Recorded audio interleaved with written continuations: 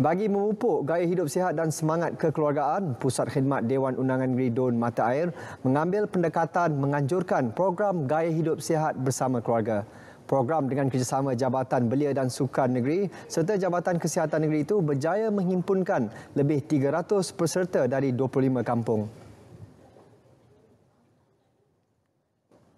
Satu program yang begitu bagi faedah dan juga uh, ber, uh, begitu baik untuk uh, diteruskan dan uh, kita boleh uh, libatkan lebih ramai orang.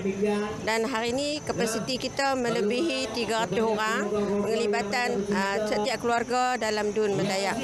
Uh, dan tidak keting- uh, semua cawangan ataupun semua kampung terlibat tak ada satu kampung yang kita tinggalkan uh, juga uh, penglibatan daripada kawan-kawan kita yang uh, kaum Cina. Dalam program ini juga perkhidmatan pemeriksaan kesihatan bergerak turut disediakan oleh Jabatan Kesihatan Negeri.